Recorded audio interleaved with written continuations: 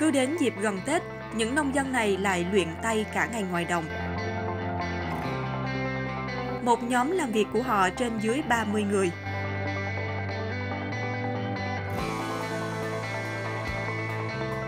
Và sản phẩm là một món ăn không thể thiếu trong dịp Tết.